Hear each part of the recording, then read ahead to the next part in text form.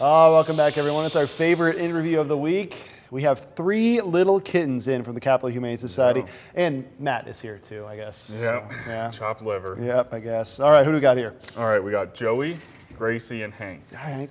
Joey, Gracie, Hank. And so they are about Gracie, 10 weeks old. They're all litter mates, so they're all Yep. domestic short hairs. And so the two boys are neutered, and she's spayed now. But they all came in as lost kittens at the end of last month, right after Thanksgiving, and nobody came looking for them. And so they spent a little bit of time in a foster Yep. home uh, to get a little bit bigger. And also, they are a tad bit shy. So need a little confidence boost. And so spent a couple weeks in foster care. And so now they've got all their their veterinary work done, like I said, Uh-huh. spayed and neutered, and they're microchipped and got their initial vaccinations, and so now they're now they're looking for their new homes just in time for 2024. One of them, uh, Joey's getting a little. He's getting a little Little- little- rambunctious. yeah. yeah. Gracie's just she's resigned to the fact think- that she's being held. I think Han- Hank's- she's accepted it. Hank's in good shape. I can't confirm they're very soft. Yeah, I'm talking about Yes, you. Yep.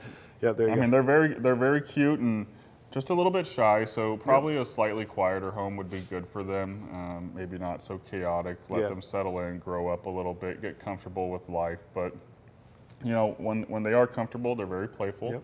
And uh, in that foster home, you know, they did great once they settled in, but just a little shy.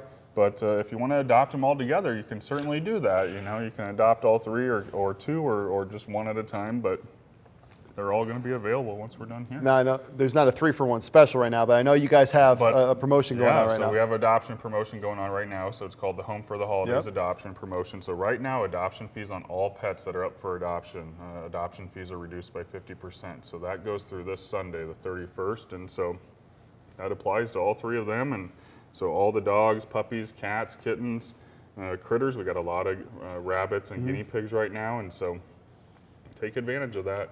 Uh, especially if you're taking time off this week and uh, can help get that new pet acclimated to the new home. Is this a tougher time for you guys at the, the shelter right now, the holiday season? Do you get more more pets coming in, more, less pets? What do you got? Um, we're still seeing quite a few Yeah. coming in. Actually, today's like the first day in about uh, a month plus that we have under 300 pets in the shelter. Wow. So we had a really good uh, weekend, even with the holiday.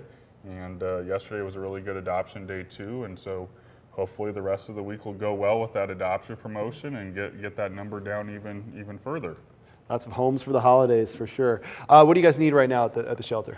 So still need canned food. Yep. Uh, we go through quite a bit of canned food, especially with uh, you know kittens and, and with some of the dogs. And so uh, Hills canned food uh, for dogs, cats, kittens. Uh, that's always something we need. And so uh, if folks are, are willing to donate, uh, we would greatly appreciate it. But also just volunteering, volunteering to be a foster parent. Uh, you know, during the holiday season, a lot of people start traveling and stuff, and so the, kind of the foster homes Yep. dwindle a little bit. And so if you're interested, definitely check out our website.